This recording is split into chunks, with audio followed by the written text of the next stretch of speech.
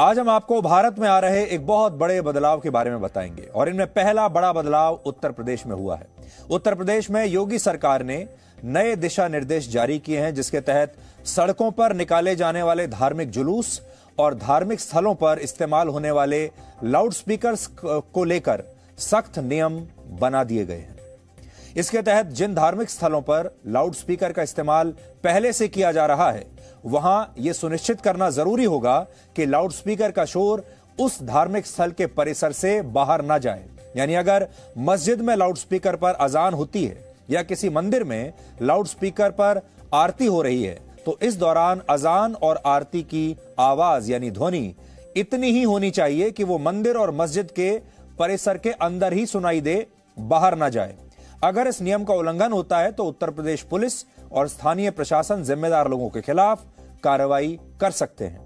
इसके अलावा उत्तर प्रदेश में अब नए धार्मिक स्थलों पर लाउडस्पीकर के इस्तेमाल की इजाज़त बिल्कुल नहीं होगी। उत्तर प्रदेश सरकार ने कहा है कि ऐसे धार्मिक स्थलों पर अगर लाउडस्पीकर का इस्तेमाल होता है तो इसे कानूनन अपराध माना जाएगा और ऐसे मामलों में भी सख्त से सख्त कार्रवाई होगी। इन नए निर्देशों के तहत अब से उत्तर प्रदेश में सड़कों पर किसी भी तरह के धार्मिक अनुष्ठान, जुलूस या शोभा यात्रा को निकालने की इजाज़त नहीं होगी।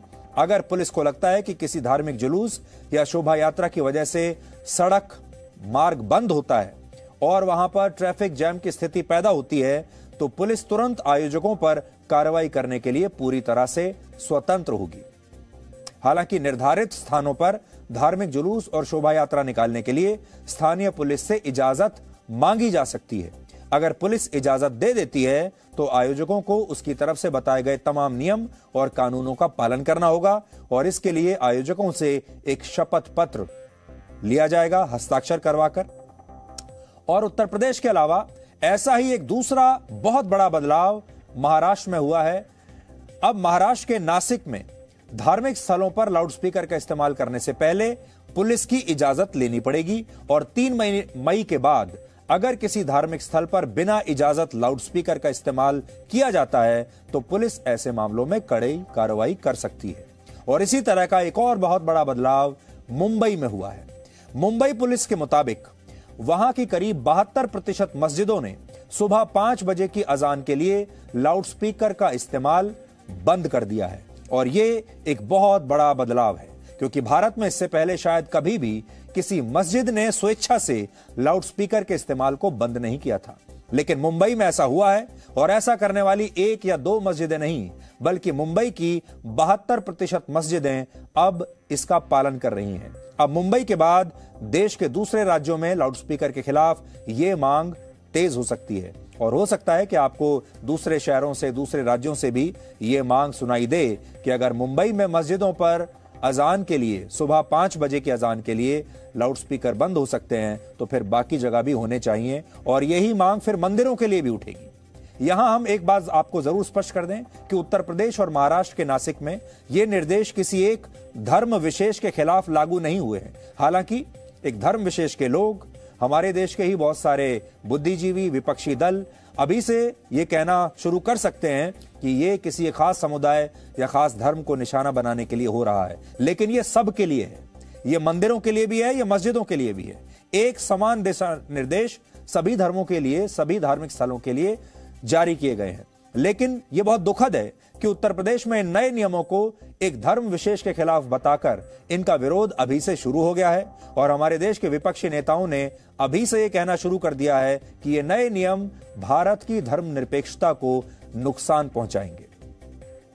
उत्तर प्रदेश में साढ़े तीन लाख से ज़्यादा मंदिर, मस्जिद, चर्च और गुरुद्वारे हैं और इनमें से ज़्यादातर ऐसे हैं जहाँ स्थानीय प्रशासन और पुलिस की इजाज़त के बिना लाउडस्पीकर का इस्तेमाल खुलेआम किया जाता है और किया जाता रहा है।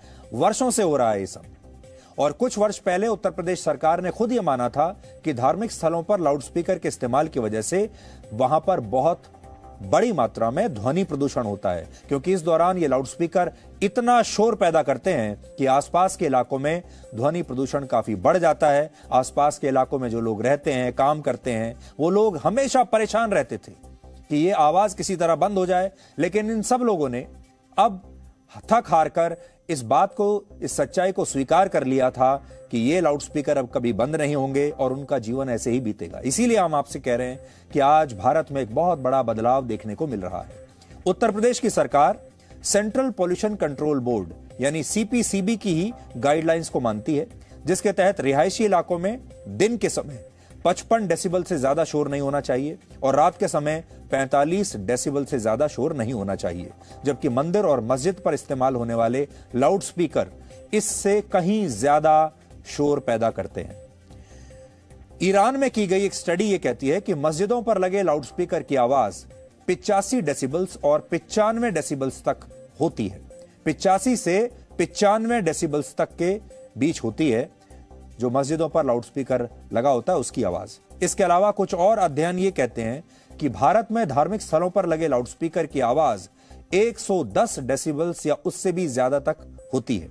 इनमें मस्जिदों के अलावा मंदिर और गुरुद्वारे भी हैं। अब यह शोर आपके लिए कितना खतरनाक है, इसे आप इसी बात से समझ सकते हैं कि 70 डेसिबल से ऊँची आवाज़ इंसानों के अंदर मानसिक बदलाव ला सकती है और यह हमारे शरीर की धमनियों में, खून के प्रवाह को भी बढ़ा सकती है और कई मामलों में इससे आपका ब्लड प्रेशर हाई हो सकता है। लेकिन यह दुर्भाग्य है कि हमारे देश के लोग इस धार्मिक शोर पर खामोश बने रहते हैं और आज तक खामोश बने हुए हैं। जबकि जो देश खुद को इस्लामिक बताते हैं, वहाँ पर भी इसके खिलाफ कड़े कानून बना दिए गए हैं। इस समय जब रमज़ान का महीना चल रहा है तब सऊदी अरब में मस्जिदों पर लगे लाउडस्पीकर्स के इस्तेमाल को काफ़ी हद तक सीमित कर दिया गया है। वहाँ इस समय लाउडस्पीकर्स का इस्तेमाल सिर्फ़ अजान और इकामत के लिए हो रहा है और इस दौरान भी लाउडस्पीकर की आवाज़ को एक तिहाई कम कर दिया गया है। यहाँ बड़ी बात यह है कि सऊदी अरब एक इस्लामिक देश होते हुए अपने देश की मस्जिदों पर लगे लाउडस्पीकर की आवाज़ कम कर सकता है। लेकिन भारत एक धर्मनिरपेक्ष देश होते हुए भी इस पर सीमित प्रतिबंध भी अभी नहीं लगा सकता।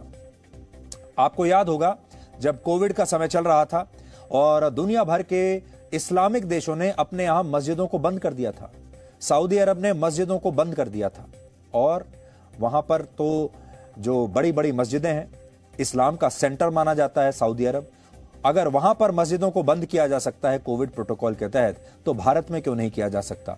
लेकिन आपको याद होगा, भारत और पाकिस्तान दो ऐसे देश थे जहाँ पर मस्जिदों को कोविड के समय भी, लॉकडाउन के समय भी बंद करने में बड़ी परेशानियाँ आई थी।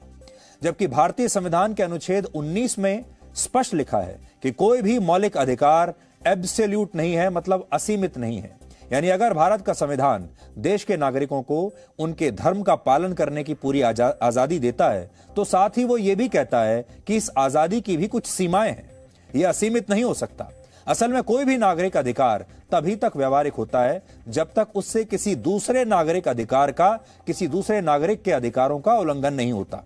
लेकिन जब किसी धार्मिक अनुष्ठान के लिए सड़कों को बंद कर दिया जाता है लाउड स्पीकर से ध्वनि प्रदूषण होता है तो इससे दूसरे लोगों को जो तकलीफ़ होती है, ये उनके अधिकारों का उल्लंघन है। लेकिन हमारे देश में इस पर कोई ज़्यादा बात नहीं करता और ये कोई बहुत बड़ा मुद्दा नहीं उठता। हमें बहुत खुशी है, जी न्यूज़ पर हम इस मुद्दे को वर्षों से उठाते आए हैं और वर्षों से ये बात कहते आए हैं कि एक धर्मनिरपेक्ष देश में हर धर्म के लोगों के लिए कानून बराबर होने चाहिए, समान होने चाहिए। अगर लाउड स्पीकर एक धर्म के लिए, एक धार्मिक स्थल पर बंद किया जा रहा है तो दूसरी जगह भी बंद होना चाहिए। हमारे देश में जो लोग ये कहते हैं कि धर्म लाउड स्पीकर के बिना गूँगा रह जाएगा, उन्हें आज हम ये बताना चाहेंगे कि लाउड स्पीकर को आए डेढ़ सौ वर्ष भी नहीं हुए हैं, जब से लाउड स्पीकर का जो है, जब से इसकी खोज हुई है। जबकि हिंदू धर्म पाँच हज़ार साल से ज़्यादा पुराना है, बौद्ध धर्म ढाई हज़ार साल पुराना है, ईसाई धर्म दो हज़ार साल पुराना है, इस्लाम धर्म तेरह सौ साल पुराना माना जाता है और सिख धर्म लगभग 500 वर्ष पुराना माना जाता है, जबकि लाउड स्पीकर का आविष्कार वर्ष 1861 में हुआ था और वर्ष 1876 में एलेक्जेंडर ग्राहम बेल ने पहली बार लाउड स्पीकर का पेटेंट करवाया था। लेकिन आज स्थिति ऐसी है, जैसे लाउड स्पीकर का आविष्कार इन धर्मों से भी शायद पहले हो गया हो। अब आप सोचिए, अगर लाउड स्पीकर का इस्तेमाल अभी हुआ है, एक सौ डेढ़ सौ साल पहले और ये सारे धर्म जो हैं, ये तो हज़ारों, सैकड़ों साल पुराने हैं। तब जब लाउड स्पीकर नहीं था, तब इन धर्मों का प्रचार कैसे हो रहा था? तब इन धर्मों के अनुष्ठान कैसे होते थे? और यह बात जानकर आप आज हैरान रह जाएँगे कि 1970 के दशक से पहले भारत की मस्जिदों में लाउडस्पीकर का ज़्यादा इस्तेमाल होता ही नहीं था। और तब भारत के मुसलमान लाउडस्पीकर को वर्जित मानते थे और इसके इस्तेमाल का विरोध करते थे। क्योंकि उनका कहना था कि लाउडस्पीकर आधुनिकता का प्रतीक है और मुसलमानों को अजान के लिए लाउडस्पीकर का इस्तेमाल नहीं करना चाहिए, बल्कि अजान खुद करनी चाहिए।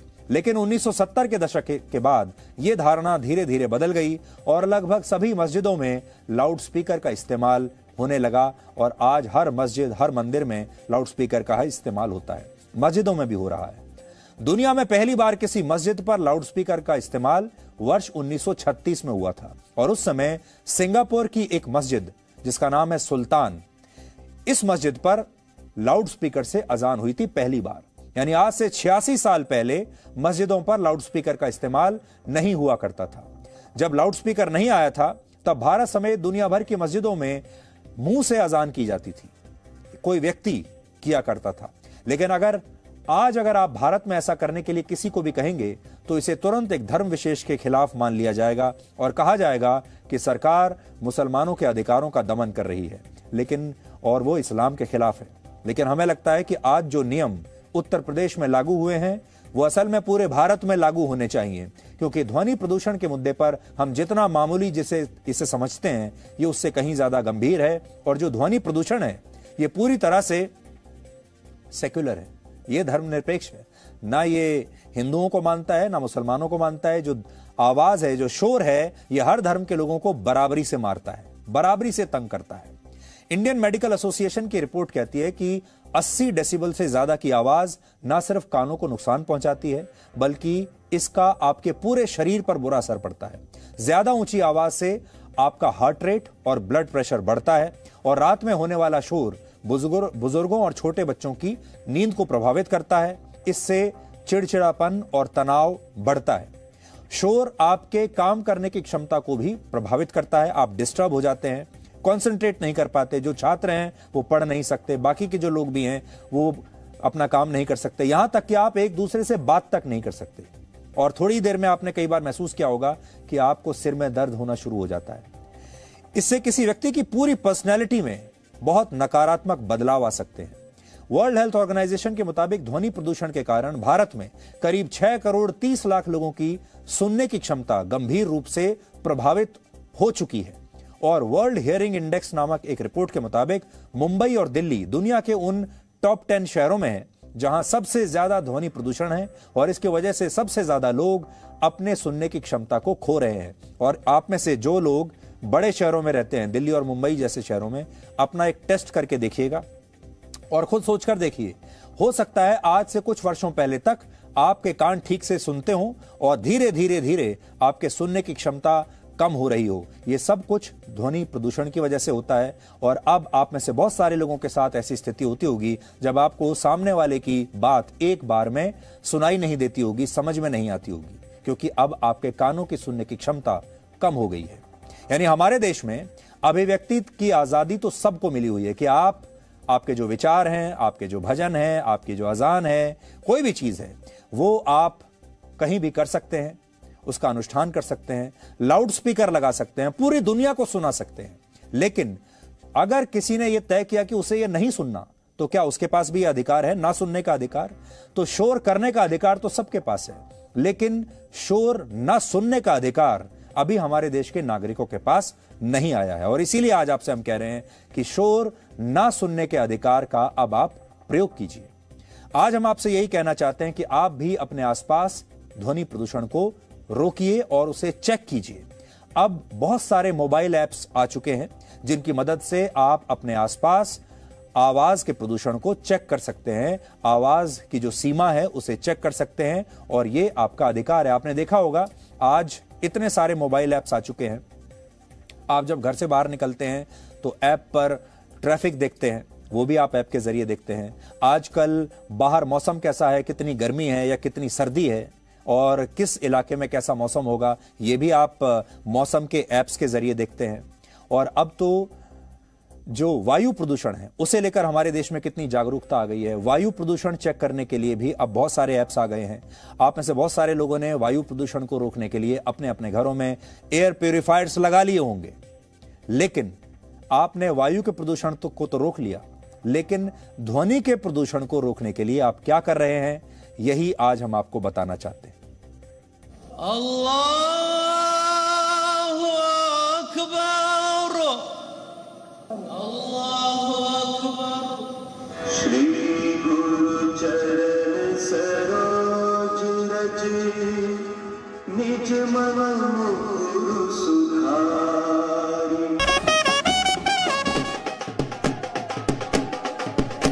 डीजे बजते रहते हैं तो डिस्टरबेंस होती है पढ़ाई में और काफ़ी तेज़ी से गाने बजते रहते हैं, जिससे कानों में आते हैं और मतलब कि पढ़ाई तो बिल्कुल हो ही नहीं पाती उस टाइम पे।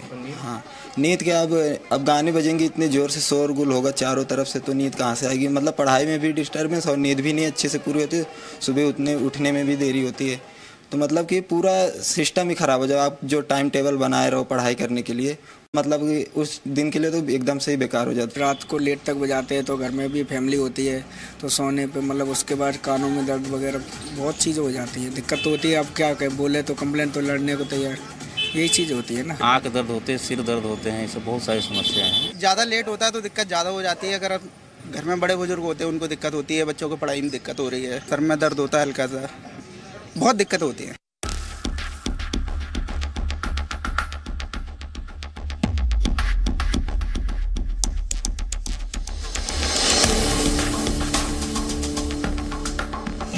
क्रेज तो इसका देखो बड़ा ही है पहले से अब नई टेक्नोलॉजी आ गई है। पहले स्पीकर वाला सिस्टम था अब टावर वगैरह स्पीकर सिस्टम आ गया है।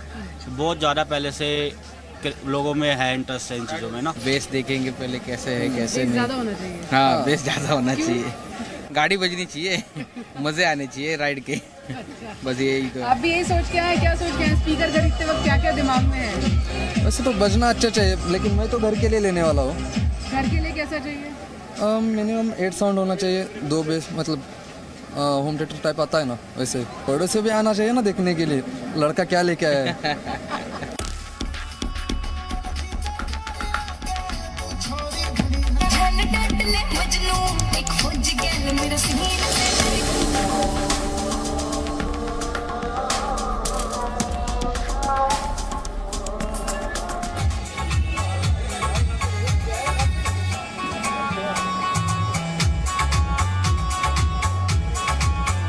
जैसे जैसे आवाज़ तेज होती जाएगी, मुझे अपनी आवाज़ आप तक पहुँचाने के लिए संघर्ष करना पड़ेगा।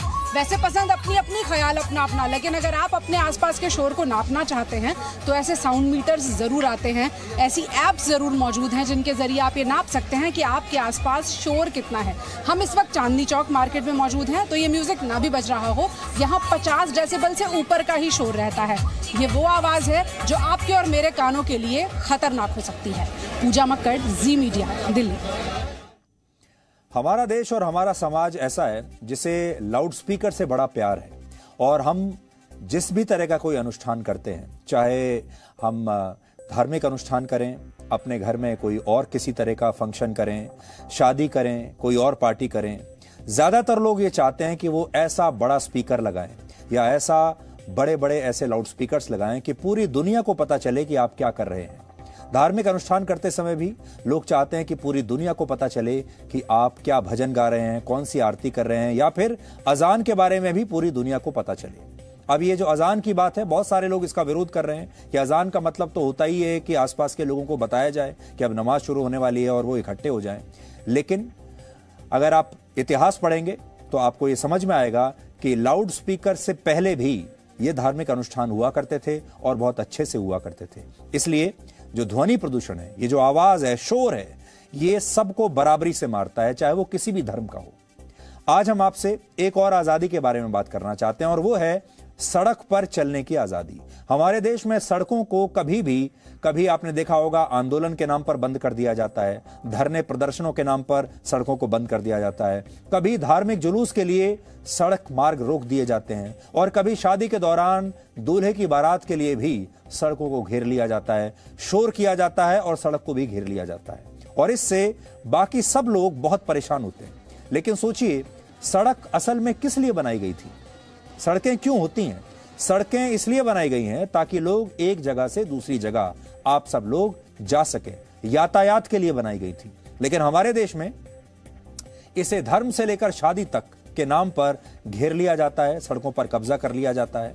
उत्तर प्रदेश में अब इसे लेकर नए नियम बना दिए गए हैं। लेकिन हमें लगता है कि पूरे देश में ऐसे नियम बाकी के राज्यों में भी लागू होने चाहिए और सड़कों को घेर कर जो बारातें निकल, निकाली जाती हैं, उस पर भी सरकारों को एक सीमा निर्धारित ज़रूर करनी होगी उसका भी कोई कानून बनाना पड़ेगा, क्योंकि जब तक लोग अपने अधिकारों की सीमा नहीं जानेंगे, तब तक भारत का संविधान कभी भी व्यावहारिक नहीं बन पाएगा Presenting B News app, available on Google Play and App Store. Download it now.